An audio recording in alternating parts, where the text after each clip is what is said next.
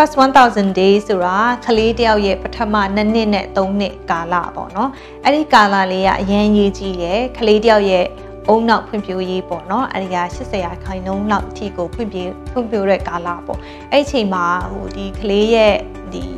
အာပေါ့နော်ကလေးကိုတေချာပြုစုဖို့လိုတယ်ပေါ့ဒါကြောင့်မလို့အမကပထမနှစ်နှစ်မှာသမီးကိုကိုယ်တိုင်ပြုစုတယ်အမ stay at home mom ပေါ့နော်အဲ့လိုမျိုးနေနဲ့နေခဲ့တယ် အဲ့တော့အဲ့ဒီကာလမှာဆိုရင်အမကဒီပေါ့နော်သမီးရဲ့စားဝတ်နေရေးရောသူ့ရဲ့ဒီပေါ့နော်အားလုံးပြေဝအမပဲတာဝန်ယူရဲပြီးတော့သမီးရဲ့ဖေဖေကလည်းအဲ့လိုပဲ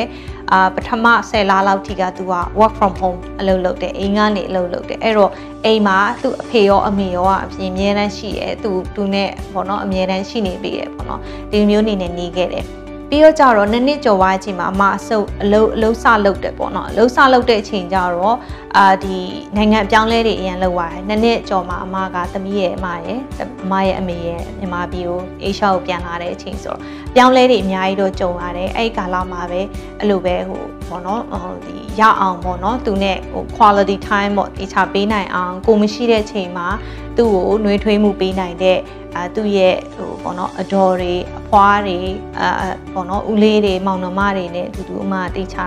အာ make sure လုပ်တယ်ပေါ့နော်တေချာထားပြီးတော့အဲ့လိုမျိုးအနေနဲ့ view site တယ်ပေါ့ဆိုတော့အမကအဲ့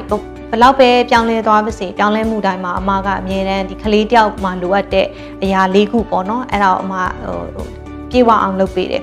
အာပထမတစ်ခုကဘာလဲဆိုတော့သူ့ရဲ့အာဟာရပေါ့နော်အာဘာပဲဖြစ်ဖြစ်သူ့ရဲ့ဟိုဒီ live stage နဲ့သူပေါ့လိုအပ်တဲ့အာဟာရပြေဝအောင်ကျွေးတယ်အာသမီးလေးကအာဒီအသီးနှံစားတာအရန်ကြိုက်တယ်အသီးနှံဘောင်းဆောင်သူစားတယ်သူကအဲ့ဟာကိုခုံမြင်တယ်ပေါ့နော်အဲ့တော့ခရီးထွက်လို့ပင်ပန်းနေသူအာသမင်းမစားချင်ဘူးအသားမစားချင်ဘူးဆိုရင်လည်းအမအသီးပို့ကျွေးတယ်နောက်နေ့မှအသားကိုပြန်မျှအောင်ကျွေးတယ်အမျိုးလေးတွေပေါ့နော်ဆိုတော့သူလိုအပ်တဲ့ဟာရတွေကိုပြေအောင်အမတို့တီချလုပ်ပေးတယ် အာအမကန်ကောင်းတာကြတော့အမရဲ့အမေကပေါ့နော်အဲဒီ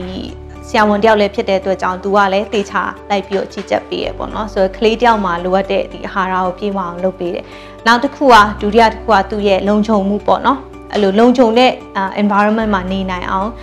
ရအောင်စီစဉ်ပေးတယ် အိမ်မှာဆိုရင်လည်းအဲ့လိုပဲကလေးလေးက तू က6လလောက်မှ तू စပြီးတော့မှလေးဖက်သွားပြီးဆိုတဲ့အချိန်ကျရင်အဲ့လို तू ဆွဲနိုင်တဲ့နေရာ तू ခိုင်းမိတဲ့ဟာတွေအကုန်လုံးဖယ်ထားတယ်ရှင်းတယ်ဒါမျိုးပေါ့နော် safety ပေါ့အဲ့ဒါကိုတေချာလုပ်ပေးတယ်နောက်ပြီးတော့ तू စပြီးပြေးလွှားတဲ့အချိန်ကျရင်လည်း तू ပြေးလွှားလို့ရအောင်အနေကင်းစွာဆော့လို့ရအောင်စီစဉ်ပေးတယ်ဒါလေးတွေကကလေးရဲ့ဒီပထမ၃နှစ်မှာသူရဲ့ဒီသူ့ရဲ့ development တို့အဆင့်ပေါ့နော်သူအဆင့်နဲ့သူလိုအပ်တဲ့အာဟို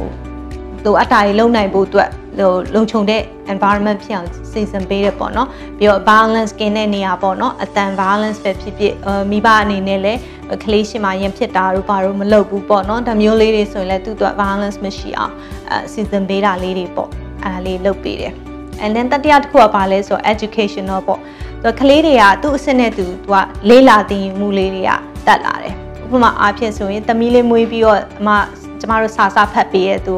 စာဖတ်တယ်စာဖတ်ရင်းနဲ့စာချင်တော့သူနားမလဲဘူးဒါမဲ့နောက်ပိုင်းကျတော့သူ့ကိုဖြည်းဖြည်းချင်းသင်ပေးရစာအုပ်လန်နာလေးတွေစာသင်တယ်ပြီးရင်သူ့ကို Apple ဆိုရင်ဘယ်ဥစားလဲဆိုလက်နဲ့ထောက်ခိုင်းတယ်သူကဟို speech ကကလေးတွေကဟိုနည်းနည်းကြော်မှပဲစကားပြောတာဒါပေမဲ့ညံရည်ကအဲ့အဲ့မတိုင်ခင်ကနားလေကြတယ်ပေါ့နော်ဒါလေးတွေဆိုရင်လည်းကျွန်မအဲ့လိုမျိုးသူ့အစ်စ်နဲ့သူအာနားလဲနိုင်အောင်ဟိုစနစ်တကျအဲတေချာသင်ပေးတာပေါ့နော်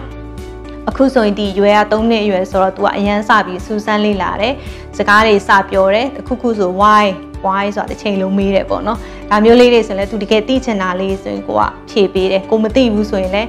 အတူတူရှာကြည့်ရအောင်ပေါ့နော်အတူတူစဉ်းစားကြည့်ရအောင်ဒါမျိုးလေးတွေပေါ့နော်သူဒီဒီမေးခွန်းမေးခြင်းအပြင်သူ့ရဲ့ဒါ learning map ပေါ့နော်အဲ့လိုမျိုးဖြစ်နိုင်အောင်စီစဉ်ပေးတယ် နောက်တစ်ခုကျတော့သူ့ကိုအာကျမကအလုပ်သွားတဲ့အချိန်လေးဆိုရင်အိမ်မှာအလုပ်ဆော့ရဲပေါ့နော်ရုပ်ကလေးတွေဆိုရင်လည်းအလုပ်ပဲအာတက်စင်ပေါ့နော်အာဘယ်လိုပြောမလဲအာ Lego ဆိုအဲ့လိုမျိုးဟိုဒီ creatively လုပ်ရတဲ့အရုပ်ကလေးတွေဆိုရင်ထားတာပေးတယ်အဲ့တော့ကလေးကဘယ်လိုဖြစ်လဲဆိုတဲ့အချိန်ကျတော့ဒီနေ့မှာသူကတိုက်ကလေးစောက်ကြည့်တယ် နောက်တနေ့မှာသူကကားလေးစောက်ကြည့်တယ်တစ်ခုခုသူရှောက်လုပ်ကြည့်တယ်အဲ့တော့ကလေးတွေအတွက် learning by playing ပေါ့နော်အဲ့လိုမျိုးလေးတွေဖြစ်နိုင်အောင်စီစဉ်ပေးတယ်ပေါ့နော်ဒါပထမ3နှစ်မှာအရင်ကြီးကြည့်ရလို့ကျွန်မထင်တယ်ပေါ့နော်ဒါလေးတွေလုပ်ပေးတယ် and then နောက်ဆုံးတစ်ခုကကြတော့ကျွန်မတတိထားမိကမိဘတိုင်းတိတ်တတိမထားမိတဲ့အရာတစ်ခုပေါ့နော်ဒါလည်းအအရန်ရေးကြည့်ရထည့်စဉ်းစားတင်တယ်ပေါ့ဒါကဘာလဲဆိုတော့ family ရဲ့ economy ကလည်းရန်ရေးကြည့်တယ်ဘာလဲဆိုတော့စားဝတ်နေရေးစားဝတ်နေရေးကကြက်တဲလာပြီး အဲဒီ၃နှစ်အရွယ်လောက်ဆိုရင်စပြီးကျမတို့တွေကမိဘတွေကစစဉ်းစားပြီ၄နှစ်ဆိုရင်မူကြိုထားတော့မယ်ဘလောက်ကုန်တော့မယ်နော်အဲ့လိုကြောင်းထားတော့မယ်ဆိုရင်ဘလောက်စကုန်ပြီအချိန်ကြရင်အာ single income parking တယောက်ကပဲလုပ်လုပ်တဲ့ဆိုရင်ကျမတို့ financial stress တွေစဖြစ်လာတယ်အဲ့ချိန်မှာငွေရေးကြေးစကားစပြောတဲ့ချိန်မှာမိဘတွေရင်ဖြစ်ကြတယ်ပြိပခါတွေဖြစ်ကြတာတွေကြုံတယ်အဲ့လိုမျိုးကြီးဖြစ်တဲ့ချိန်ကြရင်ကလေးတယောက်ရဲ့ဉာဏ်ရည်ဖွံ့ဖြိုးမှုကလေးတယောက်ရဲ့အာပျော်ရွှင်မှုကိုလည်းထိခိုက်စေနိုင်တယ်အာ indirect နည်းနဲ့ပေါ့နော် ဆိုတော့အဲ့လိုမဖြစ်အောင်လဲကျမတို့ planning တွေစလုပ်ရတယ်အဲဒါကြောင့်ကျမအလုပ်ပြန်ဝင်တယ်ပြန်စူးစမ်းတယ်ဒီ family ရဲ့ economy stable ဖြစ်အောင်ပေါ့နော်ဆိုတော့ပထမ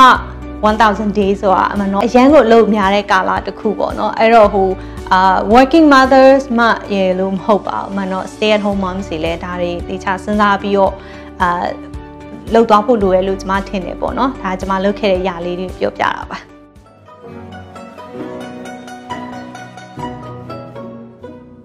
မိခင်တယောက်ကိုဝန်စားရှိခြင်းကစပြီးကလေးနှစ်နှစ်အရွယ်ရောက်တဲ့အထိရက်တထောင်စီမံကိန်းဟာ